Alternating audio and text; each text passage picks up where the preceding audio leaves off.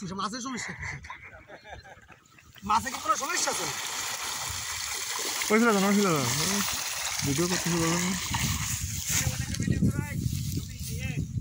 কইছিল জানো ছিল